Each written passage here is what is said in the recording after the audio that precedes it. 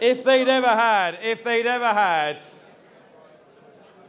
a Cheltenham preview night in the 1960s, I like to think that I would have been sitting here next to Anne Duchess of Westminster asking about Arkle, whilst a lot of pissed up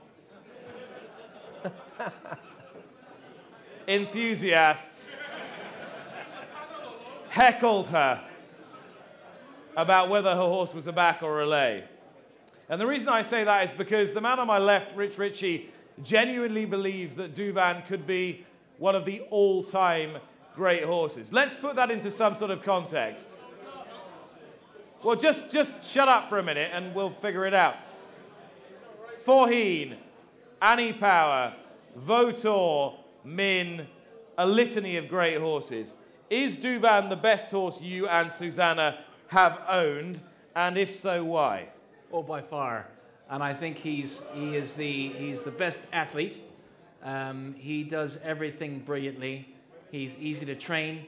He's easy to keep right. He's um, a wonderful jumper. He hurdles at his fences.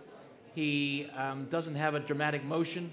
Um, when he makes a mistake, he corrects himself. Listen, it's fingers crossed. For us, he's a very special horse. I would be absolutely gutted, given the year we've had, but given the year we've had, it's possible that something goes amiss, either before or on the day. But for us, he's very special. We love him very much. And the, the, the, one of the things about him I really like, in addition to his athletic ability, is he's a lovely horse. Hurricane Fly was a, was a bastard. He bit everybody. He was mean. He was rotten. He was awful. Great racehorse, but wasn't a nice horse. Douvan, everybody loves. He's approachable. He's a pet. He's a bit antsy in the ring these days, but after the race is over, he's just a lovely thing. And um, he's a, he, we're very privileged to own him, and let's hope everything goes well at Cheltenham. Just listen up for one sec, because we, are talking about a horse who could be one of the greats. Is, is a great horse, but could be one of the all-timers. Given what's happened to your other horses this year, how much, how much more often are you on the phone to Willie asking him if Douvan's okay?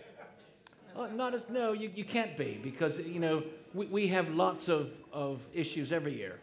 And it's not just about, um, there's so many horses that you all have no idea that we've spent a lot of money for that aren't going to run this year, who we think are wonderful horses.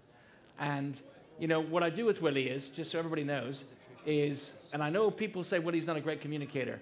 I talk to Willie during the season every three weeks. We go through the entire team. And then in the summer and the off months, we probably do it every once, every four or five weeks. And I don't want to change that pattern because it's the way he's comfortable and the way he works. It's not like in the UK, when I, we've had a horse with Nicky Henderson, calls us every Sunday, tells us what's going on. Jamie Osborne would call us every Sunday and tell us what's going on. But, but with, with Willie, it's not the way he works. So I, I wouldn't, uh, we're happy in our routine. I wouldn't disrupt it.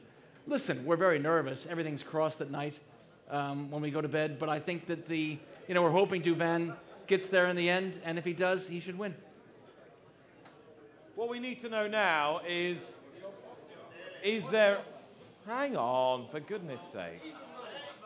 What we've got to know now is who's going to finish second to Douvan and is there a bet in the race? Where's the viable bet in the race? Noel Hayes, where's the viable bet if there is a, if, if there is a bet?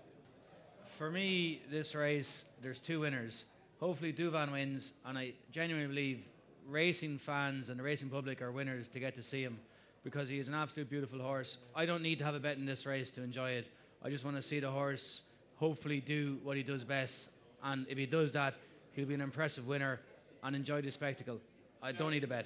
Joe, Joe, you may run Fox Norton. Are you, are you inclined to run Fox Norton here or go to the Ryanair? I don't honestly know. Um, we haven't had Fox Norton long enough to really make a decision. I think most likely he'll run here. Shush, shush.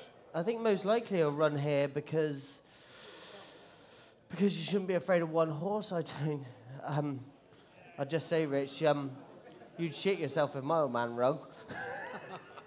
because he doesn't ring at all unless there's a problem. or, or he spent your money. um, but uh, the answer hasn't been made. But I, I uh, just from this morning, I think we'll run here. Um, we've only run the horse twice. First time was two weeks after we bought him from Neil Mulholland. He then overreached horribly and was stood in his box for six weeks. Forget the Newbury run. He was beaten by a machine in Altior. Um, I don't know what Mr. Potts is going to do with Sizing John. Right. So that could that could sort of determine it. To be honest, if they decide to run Sizing John in the Ryanair rather than the Gold Cup, then then it might. I don't know. It's a difficult one. Douvan, if he turns up, if he has a bit of luck, he won't get beat. Right, let's, uh, let's hear what Paul Kealy's got to say about this. Paul, Paul, shh, is, um, is it quite simple, just watch and enjoy, or is there a bet to be had in the without market? No, come I, on. I understand There's when always a Noel's bet co- to be had. I understand when Noel coming, but it's bollocks, isn't it? Right? There's, there's 28 races at Cheltenham. You've got to have a bet in every single one Of them. of course you have. Hey!